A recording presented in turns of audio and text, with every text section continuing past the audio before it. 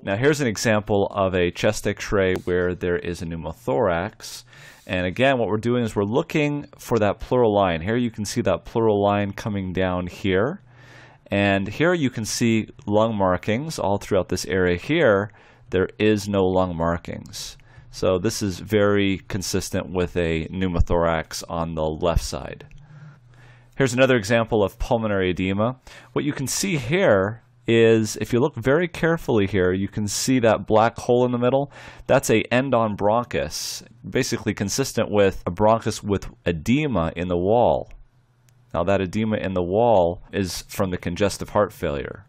You can see a few other examples over on the other side of the lung here on the right. Here we get that peribronchial cuffing as what it's known as. Peribronchial cuffing is consistent with congestive heart failure. You also see Let's go to B, so what's the treatment here? Well, if you have decreased surface area, you're going to have a problem with gas exchange. And so your oxygen level could actually be low. And so the treatment for that is to give supplemental oxygen.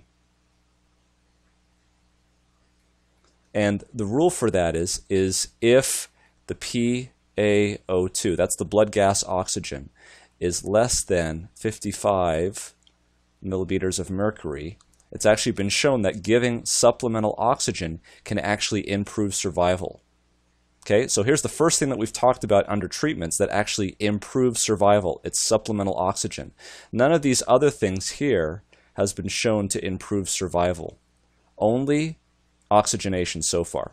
The other thing that you can do is if you take a saturation, an SaO2, and if it's less than 89%, that's also a reason to give supplemental oxygen. We relax these rules a little bit if there are signs of something called pulmonary hypertension. And if we see that, we're a little bit more liberal with oxygen in that case instead of 55 millimeters of mercury. Okay, so let's review here. Specifically, these are lung volumes. That the one that I want you to remember the most is the functional residual capacity. That is because it is based on the static forces between the chest wall and the lungs.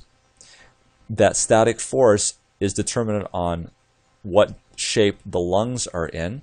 Let me explain that a little bit more. Let's say you had scoliosis. In scoliosis, you're not going to be able, the chest wall is not going to be able to expand out very well. And so, therefore, its ability to go in this direction is modified, and so you'll have a smaller magnitude in this direction.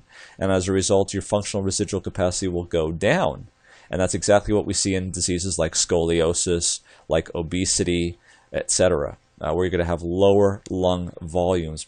So, anyway, the chest wall and the lungs will interact. They will determine your functional residual capacity. So if you look at the previous lectures that we talked about this, we'll see that streptococcal pneumonia is very common. And as a result of that, we're going to use a very specific type of antibiotic in CAP. So strep pneumonia, which represents the major player for typical pneumonia, has to be covered. The other one is mycoplasma pneumonia or pneumoniae. So typically, this is streptococcus is what's seen in the elderly. Mycoplasma or chlamydia pneumonia is seen in the younger folk, and and this is a typical bacteria, and this is an atypical bacteria. So what they have called for is they have called for a third generation cephalosporin. And in name, that's basically ceftriaxone. Okay? Otherwise known as Rocephin. And that is going to cover your strep pneumonia really, really well. The other thing, however, is you got to cover your atypicals. And for that, we use a macrolide. And the one that they like to use there is azithromycin.